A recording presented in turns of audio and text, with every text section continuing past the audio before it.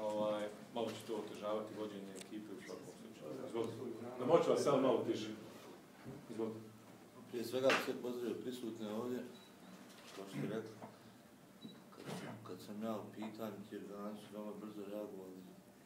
Mene su kaznili jednom utakmicom zabrane i novčanom kaznom. Ali ništa ovaj, će moj tu kolega Beganović koji će zamijeniti, svakako ću ja biti stalno iz ekipu. Vidjet ću da budem tu što budem bliže mogao biti. Što tiče utakmice sa Zrinskim, svakako da ovaj, kao što je rekli ste prenose TRL, što znači da biva posebnu važnost. Ekipa Zrinskog je pokazala već u prvom kolu da, da neće biti to ona ekipa od prošle godine koja se borila na za opstanak, nego će svakako igrati značajnu ulogu ove godine. Do zadnje minute su borili i, i u travni, travni u zadnje minute su da izjednači, tako da svakako će biti teško, ali jednog momenta ne sumnjamo svoju ekipu i mislim da ćemo pokušati da ponovimo dobro igru iz Mostara i da, da dođemo do prva tri boda. Će biti promjena u ekipi za razliku od ove prve utakmice u Mostaru? Pa vjerovatno neće biti promjena u ekipi. Iduća ona ekipa koja je igrala protiv Rođa. Hvala. Evo imate pitanje za gospodina Gavra? A novčana Se 200 maraka. Mjesto promjene. Ne- Neđan?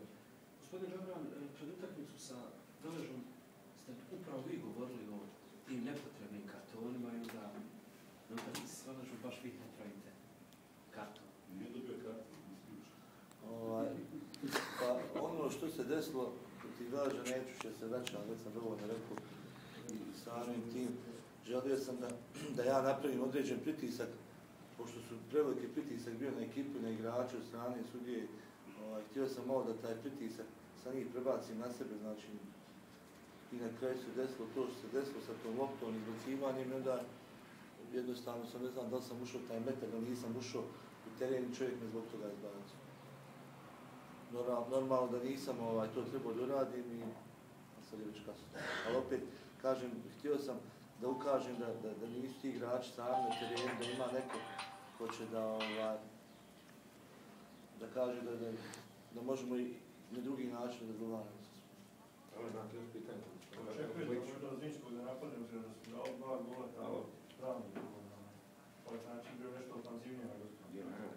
Pa dobro, ne znam ovaj, kako će se oni, mi smo imali tamo svog čovjeka koji je pratio tu utakmicu, koji je mene izvijestio ovaj, kako je bilo i šta je bilo, tako da ja informacije što imam baš nije to tako bilo, ali ne znam, nova utakmica i svašta se može desiti, ali mi ćemo nadati se da ćemo mi biti ti koji ćemo napasti, koji ćemo da što prije dođemo do zela. Aha. Još pitanje